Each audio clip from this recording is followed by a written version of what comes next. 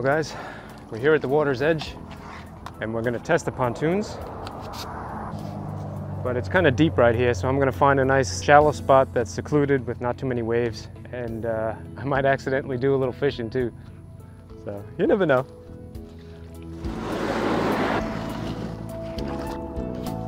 Well, to Patrick, the winner of the contest, I hope you don't mind me getting your kayak wet. I'll tell you this, it's comfortable.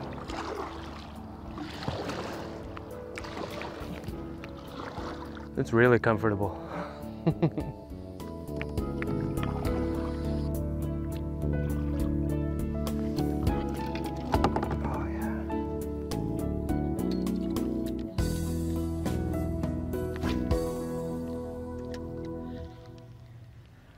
Well, I kind of figured that standing up would be a piece of cake with this seat that I got, and it is.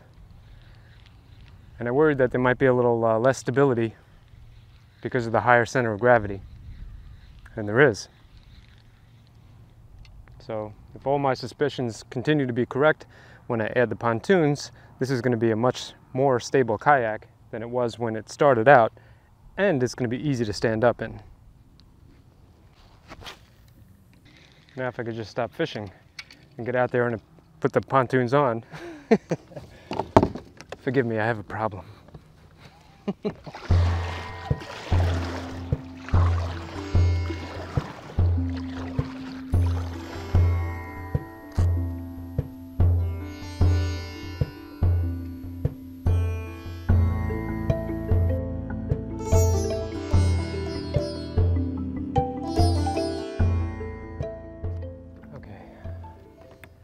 looks like a uh, good a spot as any, I suppose. It's really shallow. And that's all I really need is a couple inches. Insert joke here. uh, but anyways, I'm going to test these out and see how they float. And once I got them in the right position, then it'll be time to glue them on.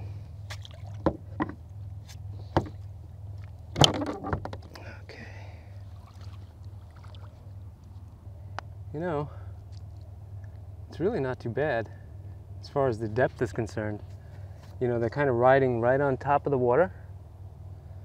And, um, you know, when, when you push on it a little bit, you, if it started to roll towards that direction, it's going to submerge a little bit.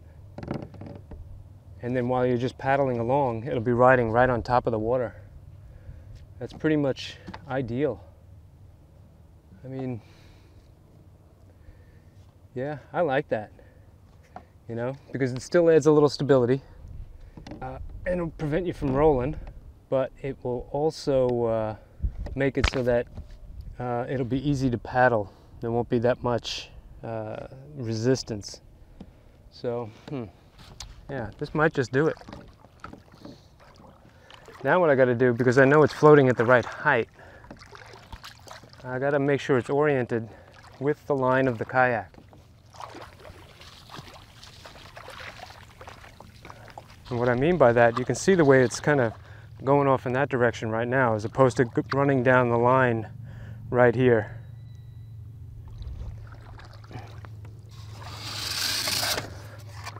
Let's put them both on. See how that works.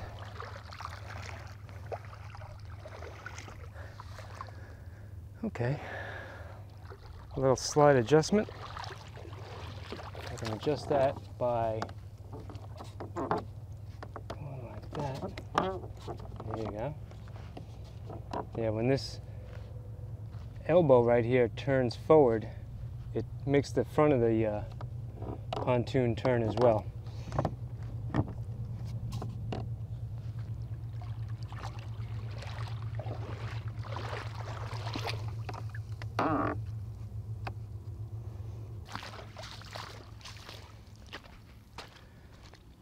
Just stand around and look at it. If it looks slightly crooked, make an adjustment. And if it Okay, well, now that I have them where I want them, the next step is to take a magic marker and mark where everything has to be. I'm going to make a little mark on the square part of that Scotty stem and another mark on the top of the elbow. And this one is going to align with that one. Okay. Now I have to take this apart and glue it on.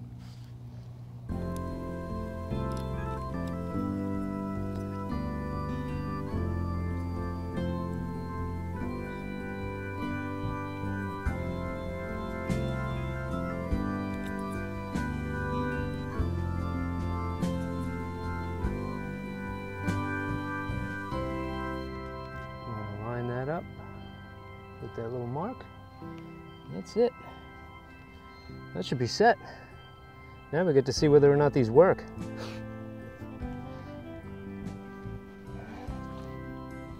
Looks good to me.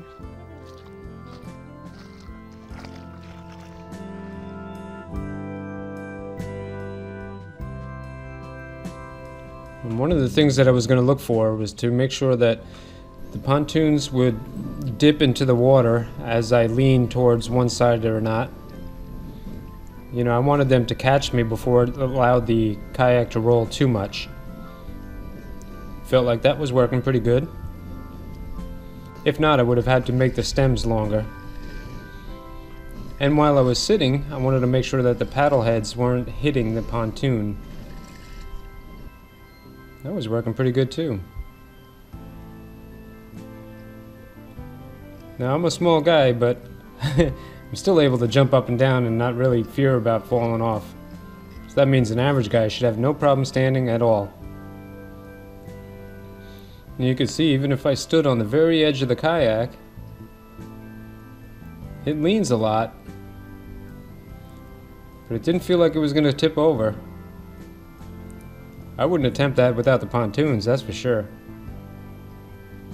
It's always a real shock and surprise when you put pontoons on your kayak how stable it really becomes.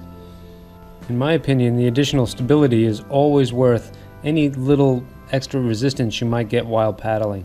Okay, well, the only thing left to do really is, uh, today at least, is to see if I can catch fish from this.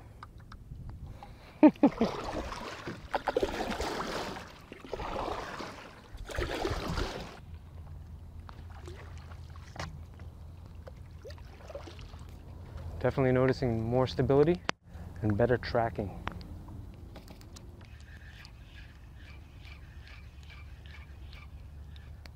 Oh! Seems fish catchability is good too. oh!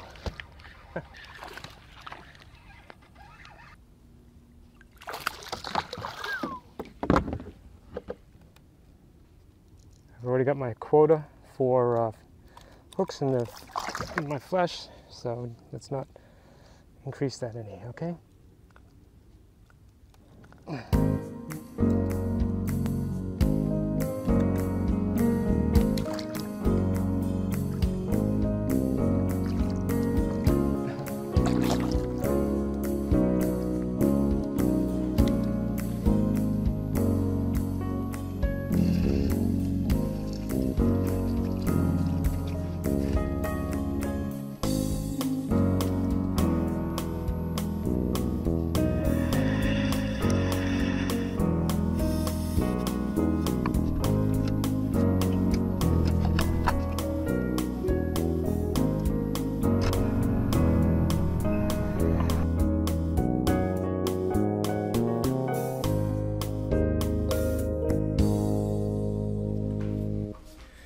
Okay, now that we're back from the water, I've got my pieces here glued in.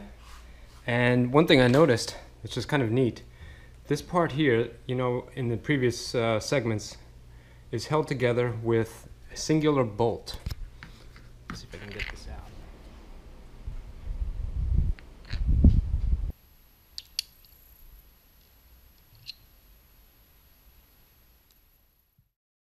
out. And there's really no chance of that backing out because this is not going to spin around and around, but it does go back and forth. Look at that. I didn't anticipate that.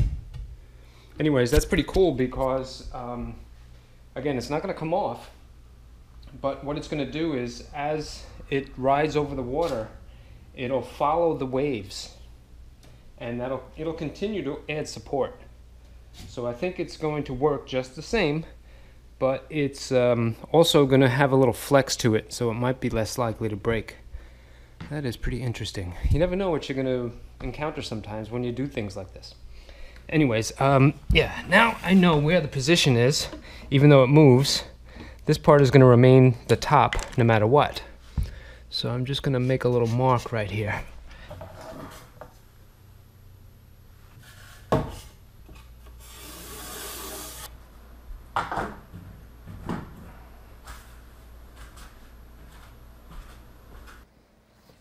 Well, as far as carving is concerned, there really is no right or wrong way to do it. So I'm not going to really make this part of the video uh, instructional because if you like carving, you know what I'm talking about. You just kind of like wing it. There's no measurements I can give you or anything like that. The only advice that I could give you is that do what you like. You know, I'm going to make mine look like this uh, Catch 2000 lure.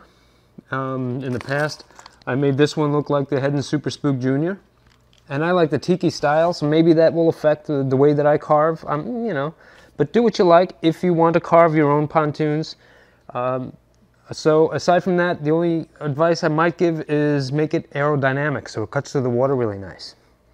So um, that being said, let's give you a little montage of me carving up these pontoons. Let's see what we got. We got hammers and rat tail files. Yeah, that one's not too sharp, but that'll do. Close them. Chisels, no. Sandpaper. Yeah, what is that? 60 grit. That'll do. And what else have I got? Let's see. Um, da, da, da, ah. Maybe I can use this to carve my styrofoam. You better not use my cheese grater to make another one of your stupid carvings. Now you see why I'm single.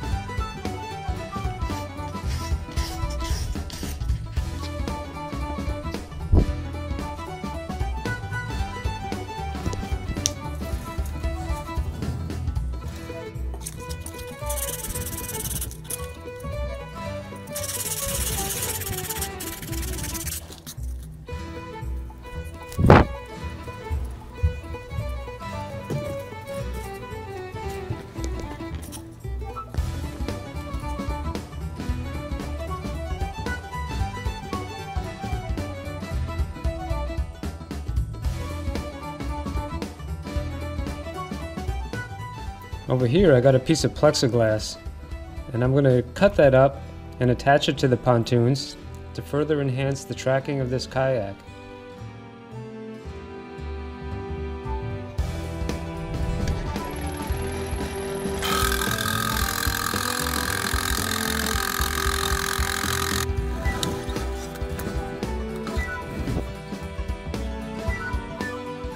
Now I've got the kayak lined up with the floorboards in the living room, which are lined up with the tiles in the kitchen. And that's going to help me find the parallel line of this boat. And I'm going to use this seam in the wooden planks of the living room floor, which have been beat up by the dogs over the years. But I'm going to use that right there where it lines up with the pontoon. And I'll be able to get a mark on the pontoon that is practically exactly parallel with the kayak. This is going to be a very important step, so that's why I'm going through all these pains to make sure that that line that I just drew is exactly parallel. Because if it was slightly off, the kayak would turn while I was paddling along.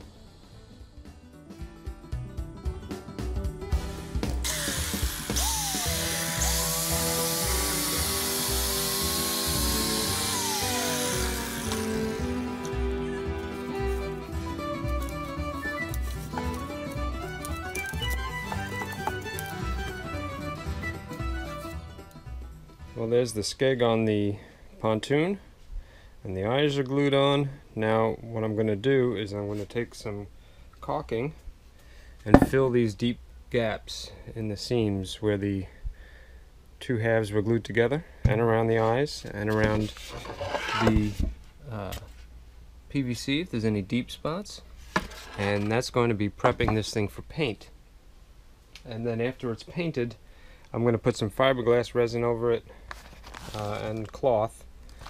Maybe a little mat on the bottom and I'm all prepped for that. I've got my mixing sticks and a scale, cups, and uh, I should have enough brushes. I'm not sure, but um, we'll take that. Uh, we'll take we'll take that step in the next video. In the meantime, I'm gonna, like I said, get these things prepped for paint, and I still have to go to the store and buy gloves, and there's a whole bunch of things to do. So. I'm going to end this video now, but don't worry, I'll be right back soon, and we'll get these things finished and looking pretty cool with a nice paint job on them, and uh, we'll be a lot closer to finishing this kayak. See you next time.